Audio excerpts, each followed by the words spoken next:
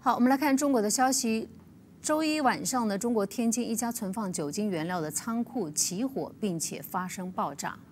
随后，天津政府新闻办这个新闻办呢，通过官方微博表示，目前暂无人员伤亡。